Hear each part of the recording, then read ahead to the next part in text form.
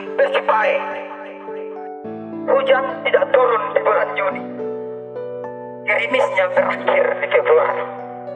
Saat batang-batang jagung mengeluarkan senyuman di malainya yang kecoklatan. Dan paksa mati karena yang jatuh bukan hujan, tapi air mata.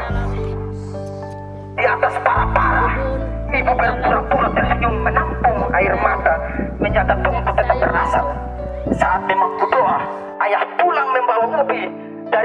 yang ditanami ibu di Tubabu. Salam perjuangan.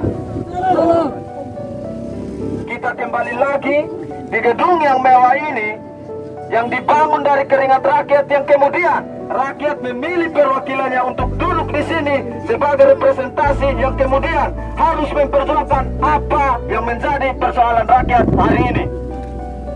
Bicara tentang tanah berarti kita bicara tentang petani. Kita bicara tentang petani, kita bicara tentang perut. Kita bicara tentang perut berarti kita bicara tentang hidup. Bagaimana petani bisa sejahtera kalau satu-satunya alat produksi yang dimiliki dirampas untuk dikelola oleh orang-orang yang nantinya mengabaikan kepentingan masyarakat setempat. Bicara tentang masyarakat bawah teman-teman yang tahu bagaimana mereka sejahtera adalah mereka sendiri. Produk menjadi bukti masalah itu sampai sekarang hilang rakyat tidak percaya teman-teman. Hari ini praktek-praktek itu pun masih dilakukan di Nusa Tenggara Timur.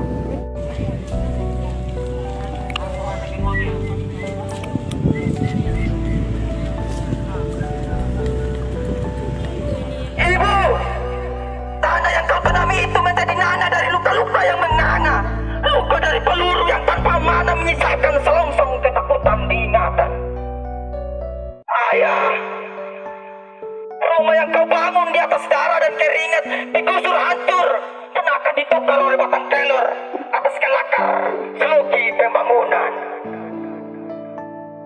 Bibir baik, kita adalah manusia yang amnesia. Merdeka adalah euforia peringatan kepada ingatan. Monoton bangga tenunan kita dipakai di istana. Diversitai ditembaki gas air mata. Langit-langit dihujani peluru. Berburu tanah leluhur. Katamu, mereka adalah pendatang. pedala o soldado.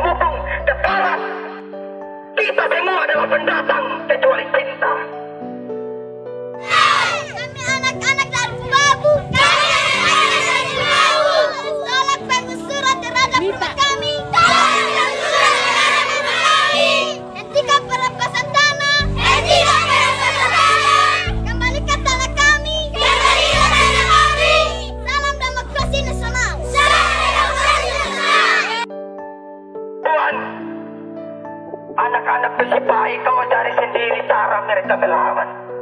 Mereka kau anggap tawanan di bawah abang-abang yang bobo senapan.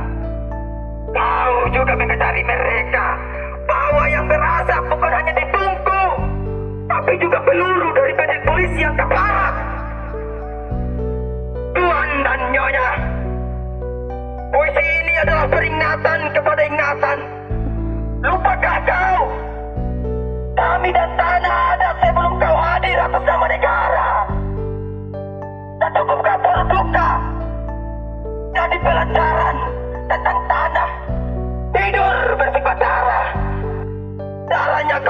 Jadikan meja tempat bertukar tawa dengan nasi yang membesarkan perut.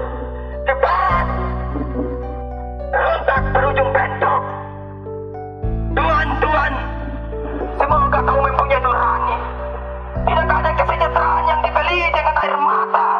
Kau makan dari tanah menanam memanen. Ingat, ini adalah peringatan kesekian dari kesekian puisi yang kunyanyikan. Hidup Bebabu! Hidup masyarakat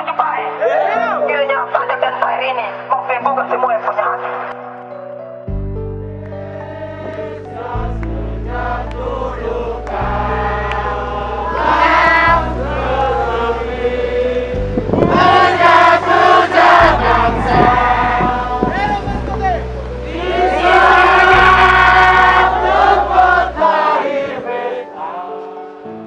tolak kesepakatan sepihak antara Pemprov dan para usif. Yang kedua, segera buka dialog terbuka antara Pemprov NTT dan masyarakat Pesipai. Yang ketiga, mendesak Pemprov NTT agar segera memberikan kompensasi yang layak bagi masyarakat Pesipai.